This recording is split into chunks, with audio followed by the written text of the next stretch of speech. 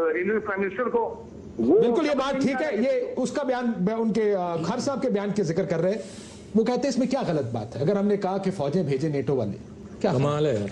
जी बिस्मिल्लाहिर्रहमानिर्रहीम अ, पहले तो मैं समझता हूँ कि मुतहदा कौमी मूवमेंट का नाम है मुतहदा कौमी मूवमेंट। उनका नाम ही नहीं है महाजिर कौमी मूवमेंट।